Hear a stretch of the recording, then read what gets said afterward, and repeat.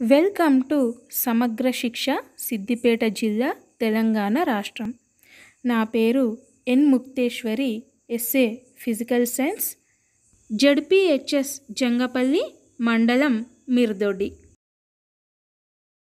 ఈరోజు తొమ్మిదవ తరగతి భౌతిక రసాయన శాస్త్రంలోని పరమాణువులు అణువులు మరియు రసాయనిక చర్యలు అనే పాఠంలోని ఆక్సీకరణ క్షయకరణ చర్యలను గురించి తెలుసుకుందాం. ఆక్సీకరణం. ఒక రసాయన చర్యలో ఆక్సిజన్ను కలపడం లేదా హైడ్రోజన్ను తీసివేయడం వలన జరిగే రసాయన చర్యలను ఆక్సీకరణం అంటాం. అలాగే క్షయకరణం. ఒక రసాయన చర్యలో ఆక్సిజన్ను కోల్పోవడం లేదా హైడ్రోజన్ను తీసుకోవడం జరిగితే అలాంటి చర్యలను క్షయకరణం అంటాం. ఇప్పుడు ఆక్సీకరణ చర్యకు ఒక కృత్యాన్ని చూద్దాం. ఒక చైనా డిష్లో ఒక గ్రామ్ కాపర్ పొడిని తీసుకోవాలి. ఒక త్రిపాది స్టాండుపై తీగవలను ఉంచి దానిపై ఈ చైనా డిష్ను ఉంచి సారా దీపం లేదా బున్సన్ బర్నర్తో వేడి చేయాలి. ఇలా కాపర్ను వేడి చేయగానే అది గాలిలోని ఆక్సిజన్తో చర్య జరిపి నల్లని కాపర్ ఆక్సైడ్గా మారుతుంది. ఈ చర్యలో ఆక్సిజన్ గ్రహించబడును. కావున ఇది ఒక ఆక్సీకరణ చర్య. ఈ చర్యకు సమీకరణాన్ని చూద్దాం. Two C U plus O two gives two C U O ఈ చర్యలో ఏర్పడినటువంటి నల్లని కాపర్ ఆక్సైడ్ను ఒక గాజుగొట్టంలో తీసుకుని దాని మీదుగా హైడ్రోజన్ వాయువును పంపాలి. అప్పుడు నల్లని కాపర్ ఆక్సైడ్ తిరిగి గోధుమ రంగులోకి మారుతుంది.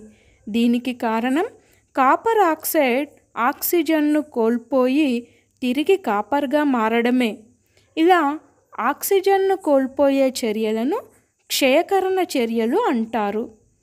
ఇదే చర్యలో కాపర్ ఆక్సైడ్ అనేది ఆక్సిజన్ను కోల్పోయి క్షయకరణం చెందితే హైడ్రోజన్ అనేది ఆక్సిజన్ను గ్రహించి ఆక్సీకరణం చెందును. ఇలా ఒకే చర్యలో ఒక క్రియాజనకం ఆక్సీకరణం చెంది మరొక క్రియాజనకం క్షయకరణం చెందితే ఇలాంటి చర్యలను ఆక్సీకరణ క్షయకరణ చర్యలు లేదా రెడాక్స్ చర్యలు అంటాం. ఈ ఆక్సీకరణ క్షయకరణ చర్యలకు మరికొన్ని ఉదాహరణలు సమీకరణాల రూపంలో చూద్దాం. మొదటిది two F E two O three plus three C gives four F E plus three C O two. అదేవిధంగా రెండవది two P B O plus C gives two P B plus C O two. చూశారుగా? నిత్య జీవితంలో ఆక్సీకరణ ప్రభావం ఏ విధంగా ఉంటుందో ఒకసారి చూద్దాం. ఇనుప వస్తువులు కొత్తగా తెచ్చినప్పుడు మెరుస్తూ ఉండి కాలం గడిచే కొద్దీ ముదురు గోధుమ రంగులోకి మారడం. దీనినే తుప్పు పట్టడం అంటాం. ఈ చర్యకు ఆక్సిజన్ తేమ రెండు అవసరం. అదేవిధంగా టపాకాయలు పేల్చినప్పుడు అవి బాగా కాంతివంతంగా మండడం యాపిల్ అరటి బంగాళదుంప వంటి వాటిని కోసినప్పుడు దానిలోని ఎంజైమ్లు గాలిలోని ఆక్సిజన్తో చర్య జరిపి గోధుమ రంగులోకి మారడం. కొన్ని లోహాలు తేమగల గాలికి లేదా ఆమ్లాల సమక్షంలో లోహ ఆక్సైడ్లను ఏర్పరచడం ద్వారా వాటి మెరుపుదనాన్ని కోల్పోవడం. దీనినే క్షయము చెందడం అంటాం. వెండి వస్తువులపై నల్లని పూత రాగి వస్తువులపై ఆకుపచ్చని పూత రావడం. దహనం చెందడం అంటే వస్తువులు మండడం కూడా ఒక ఆక్సీకరణ చర్యనే. తేమగల క్లోరిన్ వాయువు రంగుగల వస్తువులను విరంజనం చేయడం. విద్యుత్ తీగలపై లోహ ఆక్సైడ్ పూత కారణంగా వర్షాకాలంలో విద్యుత్ సరఫరా నిలిచిపోవడం. నూనెలు క్రొవ్వులు ఎక్కువ కాలం నిల్వ ఉంచితే వాని రంగు వాసన మారడం. దీనినే ముక్కిపోవడం అంటాం.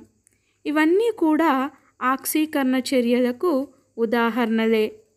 ఇప్పుడు ఆక్సీకరణ చర్యలను నివారించే మార్గాలు చూద్దాం. లోహ ఉపరితలంపై రంగు వేయడం నూనె గ్రీజు క్రోమియం పూత పూయడం మిశ్రమ లోహాలను తయారు చేయడం ఆహారం పాడవకుండా నిల్వ ఉండాలంటే దానికి విటమిన్ సి మరియు ఈ లాంటి వాటిని కలపడం. చిప్స్ తయారీదారులు చిప్స్ ముక్కిపోకుండా ఉండటానికి ప్యాకెట్ లోపల నైట్రోజన్ వాయువును నింపుతారు. ఇనుము తుప్పు పట్టకుండా దానిపై జింకుతో పూత పూసే పద్ధతిని గాల్వనీకరణం అంటాం. ఇనుముకు కార్బన్ నికెల్ మరియు క్రోమియం వంటి పదార్థాలను కలిపి స్టెయిన్లెస్ స్టీల్ అనే మిశ్రమ లోహం తయారు చేస్తారు. ఆక్సీకరణ క్షయకరణ చర్యలను గూర్చి తెలుసుకున్నారు కదా? ఇప్పుడు మూల్యాంకనం. మీ నిత్య జీవితంలో జరిగే మరికొన్ని ఆక్సీకరణ క్షయకరణ చర్యలను గుర్తించి రాయండి. మరో పాఠ్యాంశంతో మళ్ళీ కలుద్దాం. నమస్కారం.